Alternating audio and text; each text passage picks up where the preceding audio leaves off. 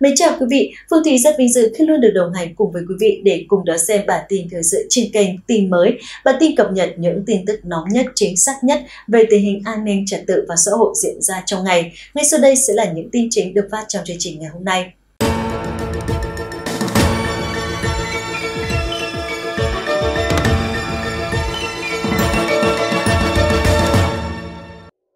Trong khi đại hồng thủy số 4 vẫn đang tấn công đập Tam Hiệp thì bất ngờ ngày hôm qua một siêu bão vòi rồng khổng lồ bất ngờ xuất hiện ở hồ chứa nước lớn nhất của Trung Quốc, nằm sát ngay cạnh con đập Tam Hiệp. Vòi rồng khổng lồ này xuất hiện lao nhanh như một tia chớp lên tới vận tốc ước tính hơn 154 km/h, đe dọa trực tiếp tới an nguy của con đập Tam Hiệp, khiến hàng trăm triệu người dân của Trung Quốc chạy tán loạn, vượt biên để trú ẩn. Thưa quý vị, truyền thông nhà nước Trung Quốc cho biết tình hình lũ lụt, động đất, sạt lở ở nước này vẫn đang căng như dây đàn thì hôm qua, một siêu vòi rồng khổng lồ di chuyển với vận tốc lên tới 150 km/h và tâm điểm của nó hướng đúng vào bốn nơi được cho là quan trọng bậc nhất của Trung Quốc, đó là thành phố Vũ Hán, tỉnh Hồ Nam, tỉnh Tứ Xuyên và Phật Sơn, Quảng Đông của phía Trung Quốc.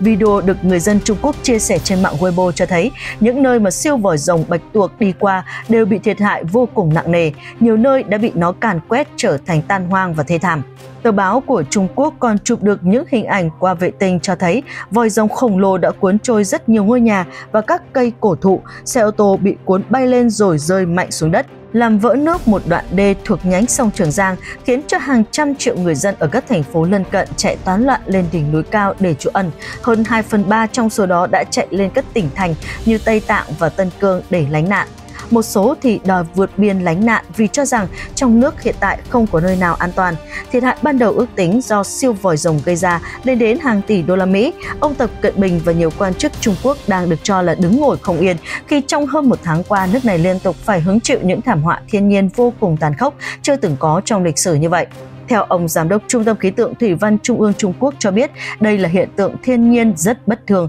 lớn nhất trong lịch sử của Trung Quốc gần 1.000 năm trở lại đây. Ông Giám đốc Khí tượng Thủy văn Trung ương Trung Quốc còn nói tiếp, vòi rồng rất ít khi xuất hiện ở những nơi này, đặc biệt là đập Tam Hiệp và những vùng hải lưu xung quanh. Bắc Kinh không hề ghi nhận hiện tượng nào cực đoan và nguy hiểm như năm nay. Phải nói rằng năm 2022 là năm định mệnh của Trung Quốc. Từ năm 2020 đến nay, Bắc Kinh đã phải trải qua nỗi đau do dịch bệnh COVID-19 thì nay mưa to gió lớn động đất sóng thần, bão tố phong ba mịt mờ đang liên tục ập tới Trung Quốc. Và hôm qua vòi rồng khổng lồ đã tiếp tục càn quét Bắc Kinh liên tục. Liên tục 55 ngày đêm vừa qua không ngừng nghỉ, dội lên đầu Trung Quốc làm cho nền kinh tế của nước này đã thiệt hại nặng nề rồi nay lại lụi tàn theo thời gian. Nhiều ý kiến cho rằng nếu đàn này tiếp tục xảy ra khả năng cao, người đứng đầu của chính phủ Trung Quốc ông Tập Cận Bình sẽ phải từ chức bởi vì những áp lực trong suốt thời gian vừa qua như thủ trong giặc ngoài, các thế lực thù địch luôn muốn dòm ngó đánh chiếm Trung Quốc, cộng thêm thiên tai, dịch bệnh hoành hành, làm cho người đứng đầu Đảng Cộng sản Trung Quốc ăn không ngon ngủ không yên. Có thể ông Tập Cận Bình đã cảm thấy dần sợ hãi khi liên tục, liên tục trong suốt 55 ngày đêm vừa qua, Trung Quốc phải hứng chịu những đòn đau thấu xương của đấng tối cao và thiên nhiên giáng xuống. Nhiều chuyên gia còn cho biết sau bao nhiêu tai ương và tai họa liên tục giáng xuống Trung Quốc như thế này, đây được xem là giấc mộng Trung Hoa của chính quyền ông Tập Cận Bình. Những trận thiên tai từ động đất, bão tố phong ba, lũ quét sóng thần, nay lại thêm cả vòi rồng, Trung Quốc mạnh mẽ hay tài giỏi như thế nào dù có một hay một trăm ông Tập Cận Bình đi nữa thì Bắc Kinh cũng không bao giờ có thể chống chọi lại với quả báo mà thiên nhiên đã dọn sẵn cho đất nước này. Kính thưa quý vị, theo các nhà quan sát cho biết, ông Tập Cận Bình dù lũ lụt hạn hán nhưng vẫn nuôi tham vọng đi chiếm Biển Đông và xâm chiếm lãnh thổ của các nước, bằng chứng là Trung Quốc vừa mới hạ thủy tàu sân bay thứ ba mang tên là Phúc Kiến. Ông Tập tuyên bố Trung Quốc giờ đây sẽ là bá chủ của biển cả, vượt qua cả Mỹ. Đây chính là nguyên nhân vì sao mà Trung Quốc dần mất hết lòng tin với cả thế giới. Các nhà phân tích cho rằng Trung Quốc lẽ ra là một trong những nước lớn mạnh nhất trên thế giới, nhưng giờ đây trong mắt cộng đồng của thế giới, Trung Quốc chỉ là một nước mà chuyên đi ăn cắp quyền sở hữu trí tuệ, ăn cắp bản quyền, chuyên đi gây gổ, gây hấn đánh nhau nhằm xâm chiếm lãnh thổ, lãnh hải các nước, nhất là khu vực Biển Đông, Biển Hoa Đông và Biển Đài Loan. Ngay từ đây, chắc chắn có nhiều quý vị và các bạn đặt ra câu hỏi thắc mắc rằng tại sao nhiều nước trên thế giới ghét bỏ Trung Quốc và quay lưng lại với Bắc Kinh đến như vậy? Thì xin thưa với quý vị rằng tất cả đều có nguyên nhân là lý do chính đáng của nó. Ở đây, do những đường lối sai trái và những chỉ đạo sai lầm của ông Tập Cận Bình mà ra, chính quyền của ông Tập đã đem quân đội của Bắc Kinh đi gây hấn với hầu hết các nước trong khu vực xung quanh mình. Và khi hạn hán lũ lụt động đất sóng thần xảy ra suốt 55 ngày đêm vừa qua, không một ai, không một nước nào trên thế giới ra tay giúp đỡ Trung Quốc. Họ đều quay lưng lại với Bắc Kinh Duy nhất chỉ có chính phủ Việt Nam của chúng ta vì tình thương mến thương đã ủng hộ cho người bạn 4 tốt 16 chữ vàng, người anh em núi liền núi sông liền sông, 1 triệu đô la Mỹ để giúp Trung Quốc vượt qua khó khăn nhưng thật nhố nhăng Trung Quốc lại ăn cháo đa bát, không những không biết ơn mà còn đem quân đội của Bắc Kinh dẫn theo 20.000 tàu cá có vũ trang tiến xuống Biển Đông của chúng ta tập trận và bắn đạn thật. Trung Quốc còn mạnh mồm tuyên bố sẽ tiêu diệt những tàu thuyền lai vãng trong phạm vi 12 hải lý đường lưỡi bò của nước này, xua đuổi và đâm chìm bất kỳ loại tàu nào dám đến gần hai quần đảo Tây Sa và Nam Sa mà Trung Quốc đã xâm chiếm trái phép của đất nước chúng ta. Thưa quý vị, theo các nhà quan sát cho biết, hiện tại Trung Quốc đang phải đối mặt với rất nhiều khó khăn, thử thách đối với cả thiên nhiên. Trong những ngày vừa qua, liên tục mưa to, gió lớn ập xuống đầu của phía Trung Quốc, làm cho ngập lụt ở khắp mọi nơi. Có những nơi trũng lên tới 13 đến 14 mét, có những nơi ngập sâu tới 19 đến 20 mét.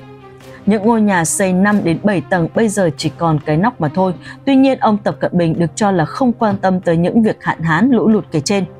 Ông ta vẫn nhằm nhẹ đem quân đội của Bắc Kinh đi gây gổ gây hấn với các nước trong khu vực và trên thế giới. Không một ai dám đối đầu với Trung Quốc ngoài nước Mỹ. Tuy nhiên, chính quyền Nhà Trắng Mỹ vẫn chưa chỉnh trị được tận gốc phía Bắc Kinh Chính vì vậy mà các nhà phân tích cho rằng trời đất và thiên nhiên đã chút cơn giận dữ để trừng phạt Trung Quốc một cách chính đáng và đó chính là nhân quả báo ứng và hoàn toàn chính xác ở một thế giới công bằng như ngày hôm nay. Thưa quý vị, theo các nhà quan sát cho biết, hầu hết cộng đồng trên toàn thế giới những ngày vừa qua đều rất thông cảm cho người dân của Trung Quốc đại lục bởi vì họ là những người dân vô tội, họ không đáng bị trừng trị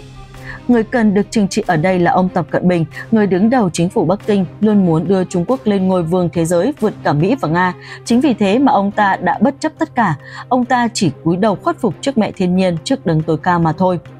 Và trên con đường danh lợi muốn đưa Trung Quốc đại lục trở thành ngôi vương của thế giới, ông ta đã quá vội vàng, mắc quá nhiều sai lầm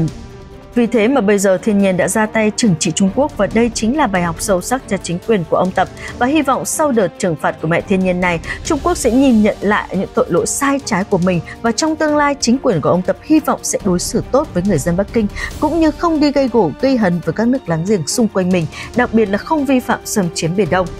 Và chỉ có như vậy Trung Quốc mới được sống trong yên bình, còn nếu không trời đất thiên nhiên sẽ tiếp tục nổi giận và sẽ đánh sập con đập Tam Hiệp của phía Trung Quốc. Khi đó Bắc Kinh sẽ bị xóa sổ và chính quyền của ông Tập sẽ không bao giờ tồn tại trên thế giới nữa. Thưa quý vị, có một thông tin được cho là rất hay mà ngày hôm qua tờ báo Tokyo của Nhật Bản đưa tin. Tờ báo của Nhật Bản viết về thành phố Vũ Hán trong thời gian vừa qua với tiêu đề Thành phố Vũ Hán của Hồ Bắc, Trung Quốc gặp rất nhiều những cái đen đủi khi dịch bệnh trôi qua, lũ lụt đã đến, người dân thì oan mình chịu đựng. Bài báo của Nhật Bản mô tả chi tiết như sau. Năm nay tiếp tục là một năm vô cùng khó khăn, đen đủi và khắc nghiệt với người dân thành phố Vũ Hán. Khi dịch bệnh Covid-19 trôi qua thì lũ lụt hạn hán, sóng thần, động đất đã ập đến thành phố Vũ Hán, miền Trung của Trung Quốc, được biết đến trong vài ngày vừa qua đã chịu những đợt mưa lớn, mưa khủng khiếp Mưa như chút xuống thành phố này đã khiến cuộc sống của người dân vô cùng vất vả. Họ chưa bước qua đại dịch Covid-19 mà đã phải hứng chịu cả lũ lụt. Màn trời chiếu đất nằm tan hoang và gây sợ. Trong các ngày từ ngày hôm qua, lượng mưa tối đa vượt 250mm đã khiến nhiều đoạn đường bị ngập và mực nước đã vượt cảnh báo ở một số nơi. Mưa lớn được cho là dự báo tiếp diễn trong những ngày tới, vì thế tình hình ở thành phố Vũ Hán đang rất là khổ sở. Trước tình hình căng thẳng như vậy, buộc cơ quan kiểm soát lũ lụt và cứu trợ hạn hán ở thành phố này ra một thông báo khẩn cấp tăng mức ứng phó khẩn cấp từ cấp 2 lên cấp độ cao nhất trong mực nước lũ. Về phía các địa phương, thị trưởng của thành phố Vũ Hán, ông Chu Tiên Lượng đã cam kết rằng công tác phòng chống lũ lụt sẽ không ảnh hưởng bởi sự bùng phát của dịch bệnh COVID-19, vì đây không phải là lần đầu tiên thành phố này rơi vào tình cảnh này. Năm 1998, trận lũ lụt lịch sử cũng đã xảy ra trên khu vực sông Trường Giang khiến thành phố bị ảnh hưởng nặng nề. Dù cam kết công tác phòng chống lũ lụt không bị ảnh hưởng bởi dịch COVID-19, nhưng chính quyền địa phương vẫn có rất nhiều điều chăn trở. Cụ thể, thành phố miền Trung của Trung Quốc là nơi khởi phát dịch COVID-19 vào cuối năm 2019 và là địa phương chịu thiệt hại nặng nề nhất do đại dịch ở Trung Quốc. Lũ lụt diễn ra sau đại dịch khiến giới chức của nước này lo ngại vấn đề khắc phục kinh tế, thành phố Vũ Hán sẽ có thêm khó khăn hơn bao giờ hết.